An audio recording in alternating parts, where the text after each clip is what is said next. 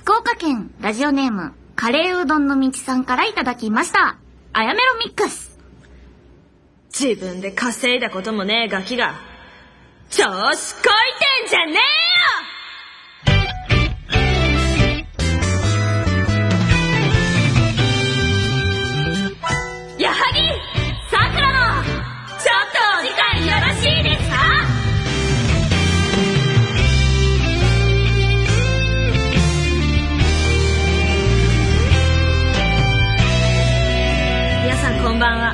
矢作さゆりです。やはぎ、桜やめです。さくらあやねこの番組は私たち先輩後輩同士が超 NG プラスのお時間をちょっとだけお借りしてお届けするハイテンショントーク番組です突然の花壇でしたけど、このご時世に。これ。スーッとこうやってこっから BGM 変わってくる変わってきて自分で稼いだこともね ガキがこれ道明道明寺ね道明寺ね私何回も見たからビデオ借りて覚えてます調子こいてんじゃねえよバンって何回もバンバンって角度違うところから映るから F を殴ったって。ざわざわざわざわざわって。私そんなに先生四国よ。超懐かしいどっちかっていうと私、花盛りの君たちへの印象の方が強いんですよね。花盛えっと、堀北真希ちゃん版の方。花盛りのイケメンパラダイス。あーイケパラ。イケパラ。あー私メイちゃんの羊が好きだった。あれ DVD あー、クス持ってたし。水島ヒロそう。あれですよね。笑えた。と、A 倉奈々ちゃんか。こうやってさセッてやってセッてやってもう着替えてんだよ。すごくない？へーってすごい！それはときめきなんですか？それとも、ふわーって方なんですか？いやもうすごい！みたいな。パッパッつってメイ様パッパッパッパッつってメイちゃんもう着替えてんの？ヒロが、ヒロが、ヒロがこうやってやったらって。すごいさすが水島のヒロよ。島野のヒロじゃできないわよ。あー、そうかも。あー、難しい水島。のヒロだからできるんだよ。そうかもですねすごいわね。やっぱヒロ違いね。やっぱ、ヒロでもね、ねこう違うなってねいう。違う。ここまで違うかここまで違う。ぜひね、できるようになっていただきたいよね。はい。とえいうわけで、あ、世間ではモンハンが発売しそっか。え、そうなの？10月11でしたっけ？あ、じゃあ10、これ15放送だから。うん。発売されてますね。へー買ってるでしょう。私？はい。買ってないと思う。あ、買ってないですか？あの、すごいね、モンハンって、うん。みんなで一緒にやるからうん。やるんだけど、私基本一人じゃモンハンはやらないのね。うん。なんかこうめめんどくさいの一人であの時間使ってこうやるのが。みんなでやるんだったら楽しいからいいんだけど、ししたらね、なんかあの、4、なんか全然 やってなくて、あ、やらなかったんですかうん猫が初期装備のままなんだよね。一人でやってねえから、ああ、私もなんか、しょ猫が初期装備の、ちょっと言葉の意味もあんまり理解してないですけど、そういうレベルですけど、買おうかなって思ってます。え何だってだってさ、さくらさんとさ、みんなで一緒にモンハンやったじゃん。はい。あうちら以上に下手くそじゃん。いや、え、だってさくらさんさ、はいぐなんか採取してる最中にやられて死んじゃうじゃん。だって、だからさ、さくらさん、お願いだから出てこないで。お願いだからそこから動かないで。だからずっと蜂蜜取ってたんですよ。え、蜂蜜取ってるだけで死ぬじゃん。ちっちゃい、ちっちゃいぴょんぴょんしてんのにやられて、さくらさんの体力ゲージどんどんなくなって、俺、さくらさん蜂蜜取ってるはずだけど、え、なんか、え、死にそうだよっつって、あ、死にました。えー、え、蜂蜜取って死んだの？えー、なっちゃうじゃん。いや、でも買おうかなって。あ、そう。え、買わん、買う？買う、あ、買う。あ、じゃあ、うんやってあげたら？私、とりあえず見てるよ。やってて、なんかみんなが大丈夫そうだったら、じゃあ、ちょっと後から、そうですね。え、何？二人であとイライラしちゃう？死んだらイライラしちゃうでしょ？だってそれをニヤニヤして見てる。あー、ちゃんとイライラしてる、つって。いや、だってそもそもあいつら、仕掛けてくるでしょ、なんか攻撃。だってほら、さくらさん基本的に攻撃して血しぶきが飛ぶじゃないあー。ダメじゃないダメですね。だから攻撃できないでしょ？あと、モンスターハンターなのに虫が出てくるのが許せない。ああ、偽りありですか？そうですか？そっちがその気ならそのまま、じゃあ私もそういうつもりで行かせていただきますだから、あの世界では虫のこともモンスターと呼ぶのよ。ね、こことは違う世界だから。だって虫は出る血の色が違うんですもん。確かにね。だからあれは多分モンスターとしてカプコン側も認識してないはずなんですよ。やっぱ虫なんですよ、あれは。昆虫とか。うん。それはじゃあ、あの、うん、そう、巨大な虫とかもいるしね。うん、大きいやつ。何巨大な虫って。やってない。ね。嘘でえー、でもあれあれあれ、黒いのまで行きましたしね。黒いの？今、今だけ、っていうの。何でしたっけ？ちょっと、えっーだけじゃ、ゴマ原だ。ゴマちゃんうん。ゴマちゃんまでは行きましたしね。うん、みんなで、みんなで一緒に。私多分、あの画面にの中に入ったことないから。あ、見たことないんだ。見たことないけど、みんなで一緒に行くのには。みんなの画面見て、わー、すごいって言ってこっちでなんかやられてねるから。そうよねだから、あとあれです。でも、あれですよ。最近あれを倒せるようになりました。蚊みたいなやつ。あの、血しぶき舞うし虫だけど、うん。あいつは結構2発ぐらい食らわせると、パッてなるんで、パーンって、パーンってなりますよね。パーンってなるよねそうで、ひらひらひらってなるんで、あ、あいつ、あいつなら太刀打ちできる。でもあいつ何も落としていかねえな、みたいな。たまに落とすよね。たまに、そう、そうシューって落ちたり。えあ本当ですかうん。採取できないなと思いながら。せっかく殺したのに。そう、ね。でももっと、もっと殺したい。うーん、ころ、いや、なるべく平和に行きたい。だから、あいつらが戦いを仕掛けてこなければいいだけの話なんですよ。なるほど。ね？なるほど。話し合おう。あ、そうなんですよ。話し合おう。それはフィフィールドに行って、はい奴らに、うんちょっとお前ら、はい。調子こいてんじゃねえぞって。まず対話からねそう、対話からして、そう。対話から言って、もうそうそう、調子こいてんじゃねえぞバンで、桜さんパンやって、で、シューって死亡ね。こうながらなかっ みんながね、他の奴らがたね。なるっていう。なるほどね。それを。はい、桜さんとはやらないようにしたいと思います。やだーということで本日も30分。ちょっとお時間よろしいですか？やはり、桜さん、ちょっとお時間よろしいですか？改めまして、萩さゆりです。桜えねです。ちょっと、あったわね。はい。跡部様の生誕祭が、はい。なるほど、バースデーじゃねえの。紙面がすごいことになったらしいわ。ですね。すごいスクエア、すごいわね、やっぱ。うーん。この、三沢キングダム？そうですね。これやばいでしょ、もう。なんでこんななんか跡部さんもちもちしてるんですかね？こういう感じ、こういう感じだけれども。これ、いいのかしら？これこういう、こういう、こういう感じだ。だって手後ろに回しちゃってるもん。ここういう、こういうことでしょ。ほんとだこういうことでしょ。何？買ったんだもんね、スクエア。まだ読んでないの？ちゃんと、へーどこに跡部様が隠れてるか、ちゃんと探しといてね。ヒューヒューっていう風に跡部様が言ってるくだりもあるらしい。あの、トラブルにもなんか、あ出てるだっていう風に聞いたんだけど。へえ。そうなの？へえ、みんな書いた。みんな書いてみるね。んな書いてるらしいよね、作家さんたちが。やっぱり跡部さんはそういうだってキングだもの。そりゃ特別扱いされるわよ。でも主人公じゃないいんでしょ？うん。テニプリのでも人気キャラだから。人気キャラなんです。一番人気なんですか？一番人気なんじゃない？へー。まあ、その、いろんなキャラ、いっぱいいるじゃない、キャラが。まあ、す、すごいたくさんいますもんね。キャラいっぱいいてさ、多分その、ファン層も分かれるんだろうけど、うんうんうんだって私も、中学生の時じゃない？アニメとか始まってさ、うん。その時一番最初好きだったのは、藤先輩だったから。藤先輩派だった。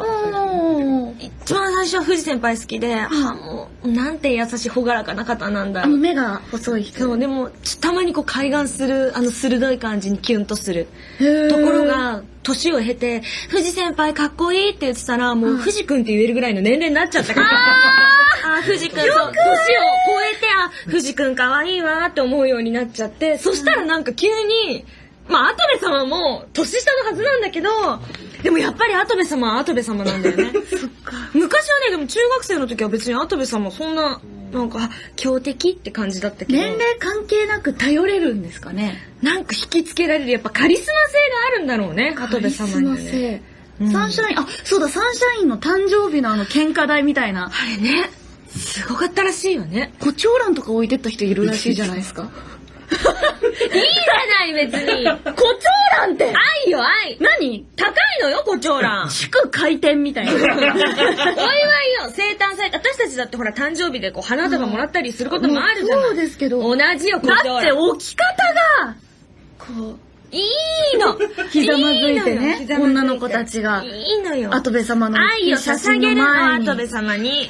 来年はどうなるんだろうね。どんどんグレードアップしていく気がしますが、どこ楽しみですまで行く。んですかね跡部キングダムではね、えー、ていう、ていう花さんからいただきましたあ。りがとうございますパイセンネルチョロイです。初メールさせていただきます。はい早速ですが、僕には悩みがあります。うんそれは、まつげが抜けることですん。それも3日おきぐらいに抜けます。その度に、コンタクトの中に入って痛いので困っています。うんこのまま近いうちに僕のまつげはなくなってしまうのでしょうか どうすればまつげが抜けなくなるのか教えてください。また、パイセンやアヤネルはどのくらいの頻度でまつげが抜けますか教えてください。そんな、私たちのまつげの抜ける頻度知ってどうすんの？よまつげってでも抜けますよ。数ヶ月に一回全生え変わりみたいな感じでボロボロ抜ける。ただあれ？でもまつげって一回抜けたらもう生えてこないんじゃないですか？うん、生えてくる生えてくる。お速度が遅いのか、私あれ使ってる、あのー、よくさ、あの CM やってるじゃない？まつげ美容液。まつげ美容液。最初はさ、市販のやつ使ってたんだけど、ちょっとなと思って、あの、ラティースっていう。ラティース？あのね、医療用のまつげ美容液というか、まつげを生やす薬？ラティースっていうのがあって、すごい生える。へえすんごい生えてすごい伸びて、私それで、ほら、この前さ、私さ、一緒にメイクしてもらってる時、はいはい。メイクさんにさ、あの、なんだっけ、松役してますって言われたじゃん？あうん自松でですか？自松なの。ってそうそうそう、うんうん。自松でかなり長く伸びるようになって、へー。もうそう、だからね、おすすめ。ただね、うん。あのね、あの、ちょ、ちょっとお高い。あそうこんぐらいのの、こんくらいのちっちゃい、なんていうの、うん。薬、なんていうの、プラプラスチックみたいなやつに入ってる、こんなちっちゃいやつなんだけど、うん。一滴だけハケみたいなのに垂らして、ビーってこうやって塗るんだけど、自分で。それでね、なんかね、何千円かするの。抜けなくなるんですかね？いや、いや、抜けはする。抜けはする。自末だから、伸びる。ただ太くなって、あー。伸び、伸びやすいというか、あー。あそもそも二人は長い方なの？短い方。あ、まつげ？そもそも？パイさん長い長くなった。昔はね、ほんと、逆さまつげ子供の頃発症してて、で、なんかこう、切って手術するかみたいな話になったんだけど、へーなんとかね、こう頑張ってこう、癖つけたりしてたら、まあでも今でもなるよ。調子悪い時は。あと、下まつげが、ぐーって中に結構結構入っちゃって痛いから、もうそういうのはもうしょうがないから、こうやって、あの、マスカラで他のまつげに止める。え他の、ちゃんとこう下向いてるまつげに、上向いてるまつげを絡めて、一緒にこう下を向かせて、マスカラで、だからめっちゃ大変なの。うわ痛いよね、やっぱ入るとね。そうそう。私は長くはないけど密集してますうん。何？ちょっと失礼しますね。あー、白目になってます。ちょっと白目にしないで。そりゃそうでしょちょっと、ちょっと生え際をキュッて押さえて開けようとしたら白。じゃあ、生え際が見たいだけなんで白目、おね、やめてくださいね。やめてくださいね。あー、生えてますね。あー、生えてます。そうですね生えてはいますね生えてます、生えてます。で、やめてやめてなくなっちゃうから。なくなっちゃうから。キバキバキバキバって感じ。スワイプしないそうだ長くはない。長くないけど、なんか、濃い。濃い一個の多分毛穴から3本ぐらい入る。だからさ、結構毛深いもんね。気持ち悪いじゃないですかこんなえ、でもさ、一本の毛穴から一個しか生えてない人って要は薄毛になりやすいじゃない ?3 本とか2本とか生えてるのは健康でいい証拠なんだよ。剥げにくいまあでもハゲるだろうけど。なんで？うち、父も母もハゲてませんしね。本当、はい残念です。なんでですハゲてほしいの 人のハゲは願っちゃダメですからね。み今、今のも。てへじゃない。やだ。今気持ち悪いって言って今口開けて気持ち、さつぎのメールって言って聞いてたよ聞こえこの距離は聞こえるよ。ルンルンさんからですよ。はいルンルンです。ルンパイセンネルちょろいです。ろいです。レイです。森永乳業が11月11、えー、10, 10月11日からうん原宿でとろける壁ドンカフェを開催するそうですよ。コーヒーと一緒にスイーツを楽しみ、女性に憧れの壁ドン体験を通じて、心と舌がとろける体験をしてもらおうという企画で、実際に壁ドンを行うのは、同イベントのために制作された女性が考える壁ドン男子の理想を結集させた、オリジナル人形で、人形。本日の壁、壁ドンレシピより、卒業壁ドン、幼馴染壁ドン、告白壁ドンなど5パターンの壁ドンレシ、えー、壁ドンシーンから好みのシーンを選択できるそうです。体験希望者が壁と人形の間に入ることにより自然と壁ドン状態になり、希望のシーンに応じて耳元で囁くとろける壁ドンボイスを男性も含め年齢や性別を問わず体験が可能だそうです。迫られてやられる壁ドンに世の女性は惹かれると思うのに、これだとただの茶番ですね。お二人は行ってみたいと思いますか？人形ですって。そもそも壁ドンってこれじゃん？はい。なんかね、うんそこまで最近その壁ドンが普及しすぎちゃって、はい壁ドンというシチュエーションにあまり燃えなくなってきてしちょっまった。とあざとくなってきてますね。うん、なんか、これやっとけばいいんでしょみたいな感じあがー、ちょっとそうじゃないですみたいな。ううんん。私も前壁ドンは微妙かあ、こうでしょ、な。はい。だってさくらさん、こうあれこうだっけ？どうだった？っけそれ、これ、おんぶみたいなバトンでしょそれ。おんぶみたいな感じだね。こえ、え、え？ちょっう。こうです。と、だどえ？こうで、あ、こうでこうか。そう。あるある探検隊みたいな。そっちがいいかな。だって、顔見たら無理じゃないですか。だそれはその顔にもよるよ。顔見たくないでしょ。あれなんだっけ、ほら。内田篤あ、内田篤人の篤顔人内田篤人が正面から壁ドンしたらどうするあ、無理です。圧が強い圧とだけに。鼻、鼻目じゃない。ドン、ドンはやっぱドンが流行ってるの今。肘ドンは？肘ドンって何ああそれって、はい議長え？議長議長それって、はい。身長差がなければ成立しない、あれですよね。対戦が、今のこれは、ちょっと高すぎるか。うん。ドーンドーンメガネが埋まる。これはおっぱいドンこれおっぱいドン自分かあ、自分で。こうでしょ？うん。こう、こう、こうだよ。ちょっとまずメガネがパリーンってなっちゃうからやめて。ならないから。ならないから。バインって。自分で言っちゃった。自分で言っちゃったら、それはダメだよ。違う、これはこそれはそれはせ自分で言ったら成立しない。なんかダサい下着見えてるから。ヒートテック。ヒートテックヒートテック寒いから。ヒートテックそのユニクロダサくない。こう、こうでしょもうちょっと高い。もうちょっと、こう、こう。それは顔を見ないとダメでしょ、多分。ええなんか、ちょっと柔らかすぎる。え？それは、それは違うでしょ。え？え？ごめんなさい。えやめお茶の水博士みたい。な。えー、ちょっと、ちょっと違うな違い。ます違うな何丼ならい。い。んですか丼自体ダメあ、議長。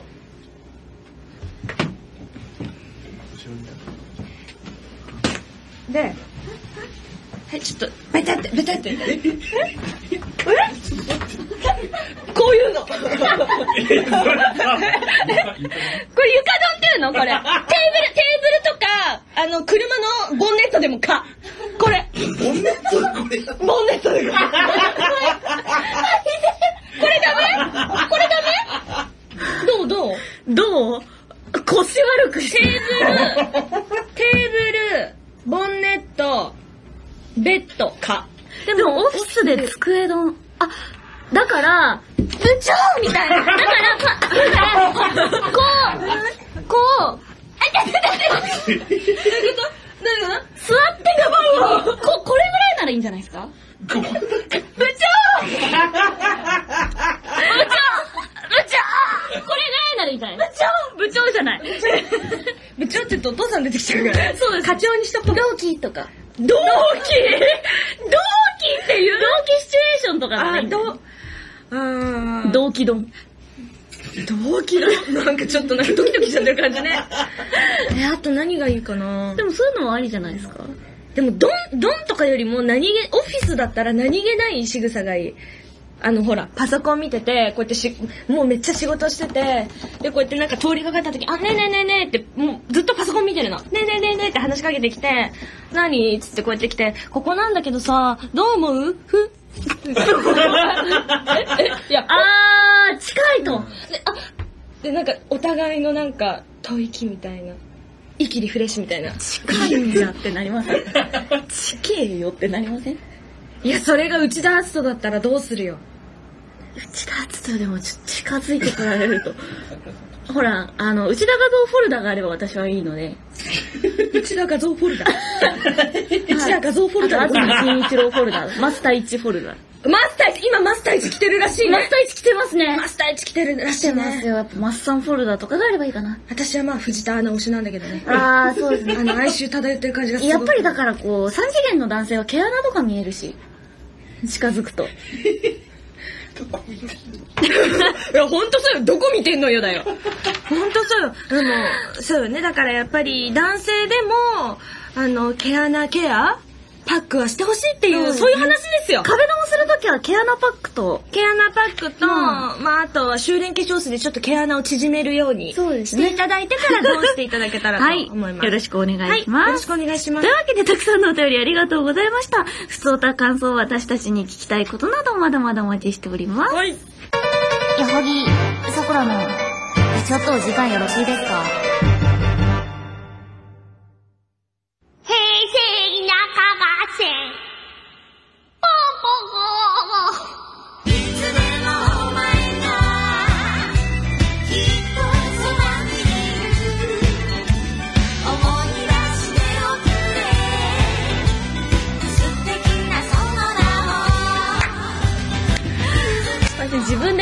キャラ付けをして、どうっていう顔でこっち見るのやめてもらっていいですか？タイトルコール中に。途中で、ポンポコあたりからこう、こっちをチラーっと見ながら、ポンポコどう？どう？っていう目で。もう、どうもこうもありません。このコーナーではリスナーの皆さんからポンポコに出てくるようなのどかな田舎でのあるあるネタを送ってきてもらい、都会とのギャップを楽しんでいきます。はいチョイサッチさんです。何これパイセン書いちゃったの？えー、サトシさん。はい。バラエティ番組でよくある、プレゼントやハガキの応募は大概。この番組は録画のため該当しません。これは何月何日に放送されたものです。応募受付は終了しました。ご了承ください。である。あるある。基本再放送だから、あー、リアルタイムじゃないリアルタイム。ムじゃないんだ。リアルタイムだと思ってた。でも結構この応募って1ヶ月ぐらい猶予ありますよね。いや、ないよ。翌週の放送前とかまでだかあら、で基本1週間遅れだから。あー、なるほど。1週間前のやつを。ギリギリ間に合わないんだそうだからね、ポケモンも大丈夫だったの、青森にいたから。大丈夫だった？ポケモン事件あったじゃん？あーだからやんなかったの、あれ。見れなかったの。楽しみにしてたのに。放送されなかったされなかった。そっか、時間差なんですね、やっぱ。東京だけな。なんだよね。そうそう。あったあった。基本的にだからプレゼント応募とかはないからできないよね。うーん。パイセン。ん？これ、ポケモン？ポケモンじゃない、ポンポコ。なんでメールに書いちゃったんですかね、これ。拡それ大後でブログに載せてもらってできる。かわかんないですけど。かわいいじゃん。後でブログに載せます私的にはタヌキの絵を描いたつもりなんですけれども、かわいいでしょ？なんか、サトシさんから来たメールに書いちゃって、しかも、余白があったから。ほっぺに丸二つ書いてあるから、もう何中なんだろうっていう。ポンポコです、それは。うんそれはポコチュポコチュですポコチ完全ポコチュ、ポコニャンって言ったよね、懐かしい。ポコニャン。はポコニャンとポコチュじゃーんって言うんだよね。え、知らないの？ポンポコ。ポンポコじゃない、ポコニャン。知らない。えっと、進撃したい甘党さんからいただきました。はい、ありがとうございます。ジャストやイオンで上下でセットで、セットで販売されている洋服を買うと、大体クラスの2、3人と被る。あるあ、同じとこで買ってるとか。ーそうだね、。基本、伊東洋華堂がその当時まだ潰れてなかったから、伊うんうんうん東洋華堂か、まあそうね、ジャスコ。うん。ジャスコかな？は下じゃうんあ。。下じゃ下 下田、イオン下田ジャスコ。え？ジャスコジャスコ。下田の、下田のジャスコで。下じゃで、基本的にさ、あの、当時田舎で、ジャージが流行ってたのよ。はで、ピンクとかのラインが入った子供用のさ、なんかはいはいダサいジャージみたいなのあるじゃん、よく。あ。あの、割とショッキングピンク。ショッキングピンクみたいな、はいはいはいああいうのが流行ってたの。私たちの時は流行ってたっていうかそれがナウいと思ってたの。パイセンたちは。でさらにジャージのこの襟首がこういうビーって上げるやつじゃなくて、フードがついてるやつがあったの。フード超可愛いと思ってて基本的にみんなそれを学校で私服としてまあ着たりするんだー。けれど。もまあ動きやすいですね。大体ねクラスのね半分ぐらいの女子がお揃いえピンクピンク色で可愛いやつってもう限られてるからでみんな同じところで買うからそうそうまあ、男子も何人かジャージかぶってたし中に着る T シャツで差をつけるみたいな。そうちなみにパイセンはオレンジ色の口パッチだった口パッチとえなんもうまさにも。なんで？違うの違うの。近くのイトーヨーカドーで、そうそう、たまごっち大ブームだったから、近くのイトーヨーカドーで、オレンジ色の口パッチの T シャツと、黒い豆っちのスパッツがね、セットで販売されててやばセットでお母さんにこれ買ってこれ買ってっつって、私いつもオレンジ色の口パッチと黒い豆っちがこうここに豆っち書かれてるの履いて小学校こうやって通ってた。でも確かに、何よ？私の小学生時代。口パッチ豆っち。さすがにこう、全かぶりはなかったですけど、ブランドかぶりはよくありましたね。ピコかぶりとか。ピコ、あれ？ありましたよね。あったけど、そんな、え、ブランドとか何たまごっちいや、ブランドじじゃん、てか、あの、それ、それこそその、伊東洋華堂とかで売ってるブランドものですよ。あの、ピコとかアディダスとか、ああいうスポーツ系のブランドかぶりはみんなしてた気がします。みんなプーマとか、プーマとかアディダスとか、ナイキとか。そういうのはね、なんかちょっと嫌だったの。やっぱパイセン個性的な学校がしたかったから、口パッチを。全面、あの、こまさにこれよ、この素材この素材の口、この、このカサカサのところのプリントの口パッチがここにダーンっていて、ああ、あんまり選択しすぎるとだんだん割れてくるやつ。そうそう、しかもあの、今、今時のさ、今のたまごっちって絵で描いてあるじゃない、はい。ドットドット。ドット。ドット柄の。確かドット柄だったと思う。ドット柄？うん、ドットの、ドットの口パッチはだからその画面の中と同じ口パッチがデカデカとここにプリントされてる。すっごいお気に入りだったんだけど、色あせちゃうんだよね。パイセンが口パッチが好きなのは相当伝わります。大好きだった。口パッチ大好きだったんだね。そうその口パッチあるある。ね終わり？終わりです。あら、そうじゃ、みんなもぜひね、口パッチの。今でもまたたまごっちブーム来てるからおそらく口パッチ売ってると思うので、はい皆さんぜひ買ってくださいね。お願いしますということで、えー、田舎あるあるネタまだまだお待ちしております。以上、平成田舎合戦ポンポコでした。